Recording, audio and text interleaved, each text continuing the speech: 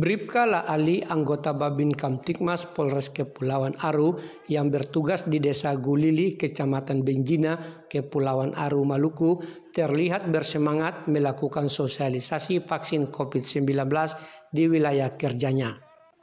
Berbekal semangat, dia nekat mengarungi laut, mendatangi warga yang berada di pulau-pulau guna memberikan pemahaman tentang vaksin COVID-19.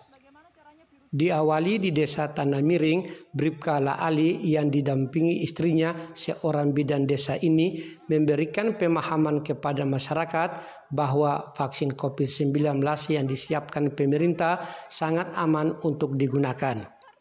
Untuk meyakinkan warga, Bribka La Ali juga mencetak spanduk yang bergambarkan Kapolri dan Presiden RI yang sedang menjalani vaksinasi.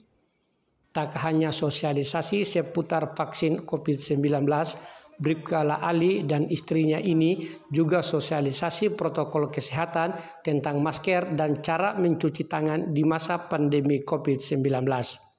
Sejauh ini, warga yang tinggal di pulau-pulau di Kepulauan Aru belum menjalani vaksinasi COVID-19 dengan sosialisasi yang dilakukan Bribka Ali bersama istrinya ini, warga di pulau-pulau, terutama di desa Tanah Miring, bisa menerima dan bersedia divaksin. Kegiatan sosialisasi ini berjalan aman dengan tetap menjaga prosedur protokol kesehatan. Dari Kabupaten Kepulauan Aru, Nova Ekasari, Maluku News.